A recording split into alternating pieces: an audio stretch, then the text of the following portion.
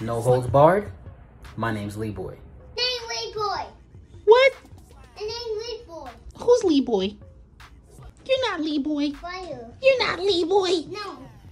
And my name is F U C Z Fuzz. Yay! Now today I want to talk about something that irritates me. Greed.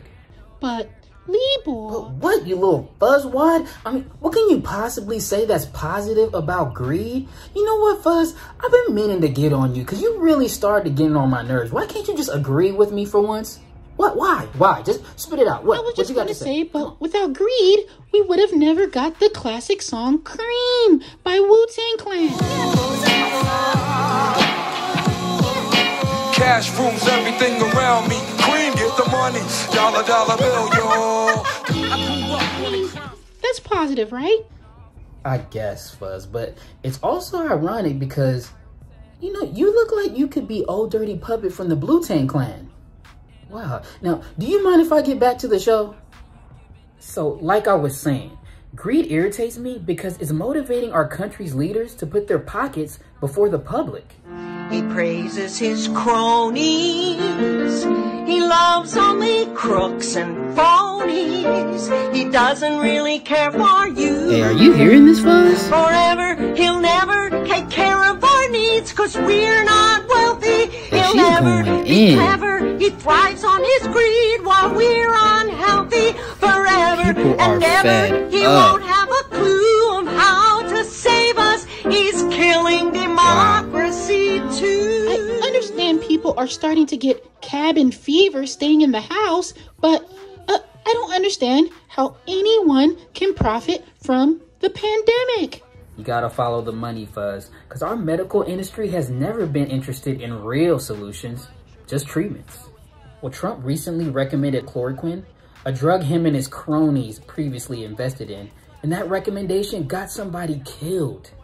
His recent recommendation of disinfectants was odd to say the least. to use medical doctors with, but it sounds it sounds interesting to me.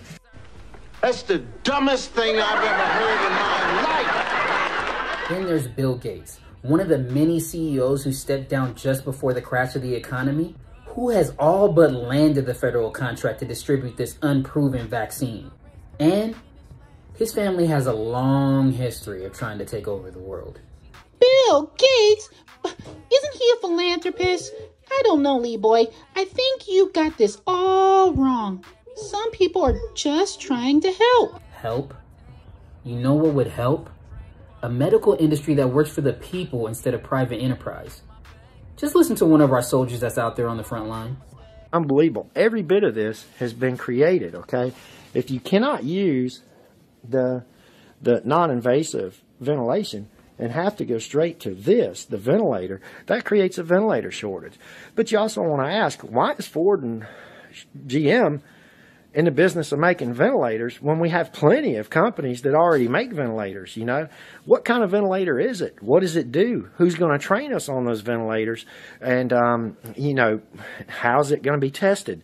Uh, and then, what is the cost per ventilator that the United States is paying Ford and GM for these, these products uh, that really aren't obviously needed? So all this talk you hear on the news by the governors and everybody else, we're having shortages of ventilators.